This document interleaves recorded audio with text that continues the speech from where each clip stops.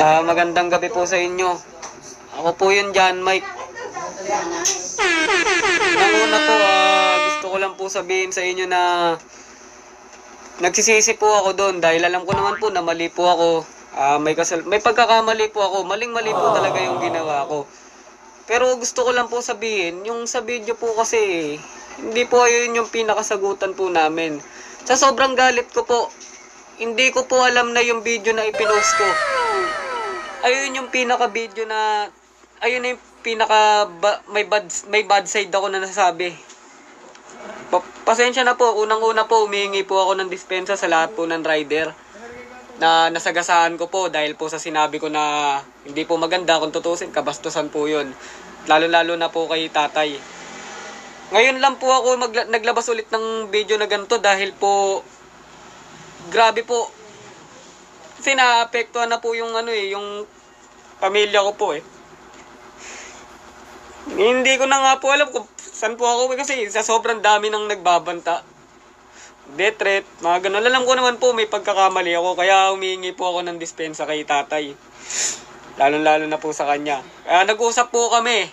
Pag nung nag-usap po kami, binura ko po yung video nung nahimas-masan ako at sinabi ko, Tay, pasensya na po. Ah, dala lang po ng pagod sa trabaho po yat.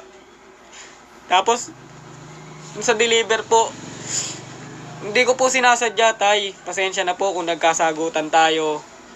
Umokay siya ron. Ang sabi niya sa akin, okay lang yun, trabaho namin yun. Kung tutuusin, napakaswerte ko nun, nasabi ko kasi ang bait ni tatay. Tapos nagulat ako, kumalat po yung video. Yung video na nandun sa may bad side ako. Ang dami na po kasing naapektuhan, halos lahat po ng pamilya ko, kapatid ko. Pati na po yung nanay ko nadadamay na rin po kasi sa ano eh. Sana po maintindihan nyo rin po ako kasi tao rin po ako napapagod. Kahit na paano, syempre masakit din po yung mga sinasabi nyo. Hindi nyo naman po kasi alam yung punot dulo. Pero wala na po yun. Ginawa ko po tong video na to para po sabihin sa inyo. Sa lahat ng rider, humingi po ako ng pasensya sa inyo kung ano po yung mali na nasabi ko. Ang nasabi ko puro sa video na yon. Pasensya na po talaga. Yun lang po masasabi ko sa inyo, sir. Sana po maintindihan nyo ako. Sana po mapatawad po ako ni, ni tatay. Atay. Yan tum- tumawag po ako sa iyo. Humingi po ako ng pasensya. Humingi po ulit ako ng pasensya sa iyo, tay.